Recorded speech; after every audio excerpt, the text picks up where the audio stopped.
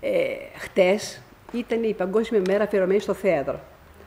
Και επειδή το θέατρο είναι μια ιστορία που διδάσκει, βοηθάει, ψυχαγωγεί και μας κάνει καλύτερους ανθρώπους, ε, μέσα από τις πολλές τρέλες που κάνει η πειραματική σκηνή, ακόμα μία. Το μαγκάλι του Γρηγόρη του Χαλιακόπουλου. Ε, μια πρόταση από τον Γρηγόρη, πριν αρκετό καιρό, για αυτό το έργο. Ε, εγώ νόμιζα ότι είναι για παιδιά.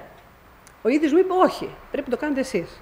Αποφασίσαμε λοιπόν μια παρέα, φίλες, να μπούμε σε αυτό το δύσκολο έργο, να αποδώσουμε ε, χαρακτήρες πολύ γνωστούς σε εμάς από το παρελθόν και να ζήσουμε καταστάσεις που τις έχουμε σατηρήσει, που έχουμε γελάσει. Εμείς πέρασαμε πάρα πολύ όμορφα.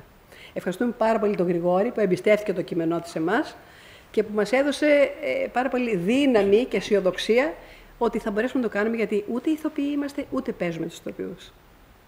Τίποτα άλλο.